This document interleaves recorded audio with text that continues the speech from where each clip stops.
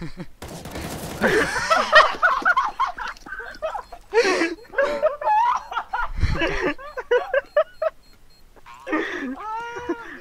it worked. Don't gas. no, it's dropped.